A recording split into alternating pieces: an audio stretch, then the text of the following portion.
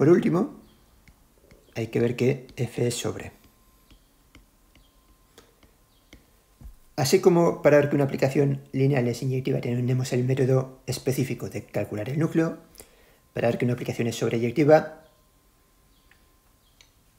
en principio, al menos de momento, simplemente tenemos la definición, ¿vale? La definición de matemática básica. Más adelante veremos algunos casos donde no vamos a necesitar hacer nada para ver que una aplicación lineal es sobreyectiva, pero de momento solo tenemos la definición de matemática básica. Por ello, vamos a comprobar que se cumple. Sea x y z t un vector de cada 4. Hay que ver si existe una matriz 2 por 2 sobre k tal que f de esta matriz A es este vector x y z t.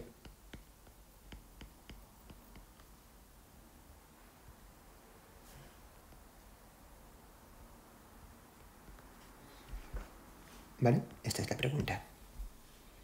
Entonces, en este caso es muy sencillo. Yo creo que se puede ver a simple vista. No hay más que fijarse en cómo es f. ¿Vale? Recordamos que f...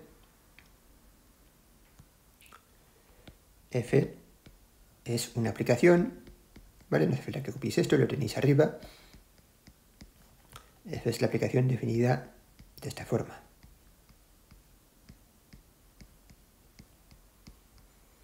Entonces, para hacer el vídeo, yo creo que en un segundo veréis cuál es la matriz que da como imagen el vector x, y, zt.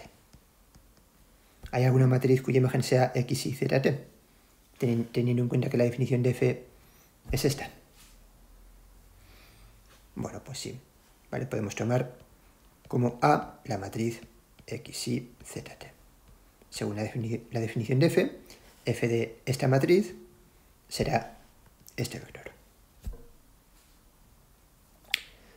Vale, por cierto, y ya para terminar con esto, para terminar con este ejemplo, no lo tengo aquí ya, pero bueno, este es el fondo que había puesto aquí.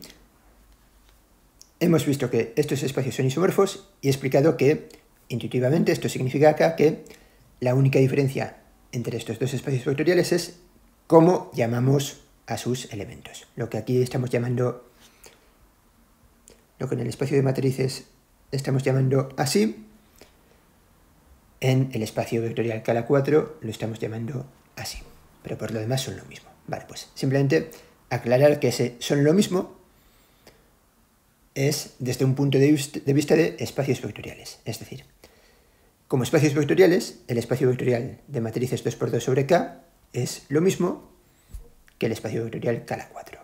Eso no quiere decir que en otros contextos puedan ser distintos, ¿vale? Por ejemplo, el espacio de matrices 2x2 sobre K, además de ser un espacio vectorial, también en el espacio matrices tenéis definida una operación producto de, matrices y las matrices con la operación suma y la operación producto tienen estructura de anillo.